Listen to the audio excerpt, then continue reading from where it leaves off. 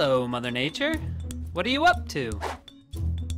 Watching a queen at work, a termite queen to be exact. After mating, the queen can be up to 100 times bigger than the other termites. She is so full of eggs that she can hardly move and will never leave the nest. The workers take the eggs from her body as she lays them. Where are the eggs taken?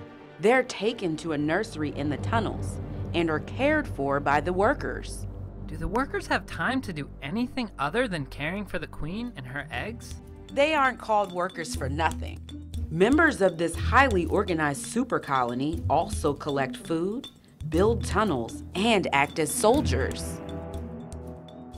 It's all to continue the survival of the more than 150 million termite eggs that this queen can produce in her 15 year lifespan.